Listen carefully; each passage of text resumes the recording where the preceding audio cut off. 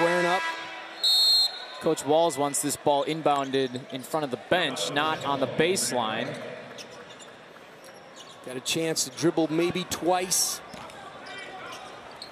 Half court heave to Knueppel, turn and shoot. It goes!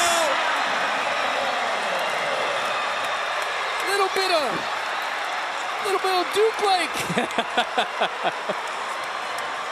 The Blue Devils, I'm sure, are watching. little Christian Laettner, like. That's worth another look.